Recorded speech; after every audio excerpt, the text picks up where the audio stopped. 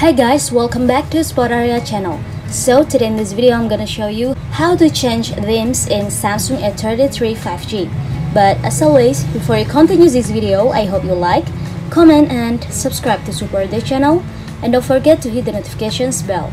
So without any further ado, let's get started. Firstly, of course, that you have to do, you have to go to the settings apps on your phone. Here you are, I'm gonna open my settings right now and after that in the settings page simply you have to scroll it down a bit more until you see the themes options. I'm gonna tap on it.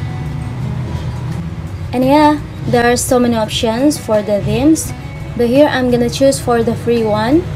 I'm gonna tap on the free here. And yeah there are so many options too for the free but I don't know why it's low so long. Maybe my network is not really good.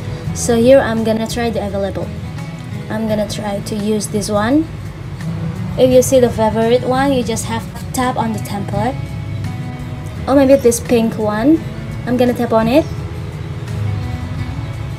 Yeah it's so long but it's okay because this is for example only. After that you just have to tap on the download button right here at the bottom. I'm gonna tap on it. It's load and we have to wait for a minute and when it's done the download button earlier will change to the play button. Tap on it if you want to use this.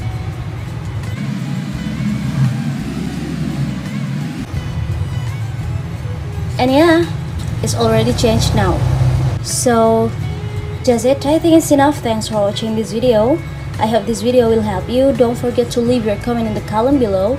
I'll see you soon in the next one and good luck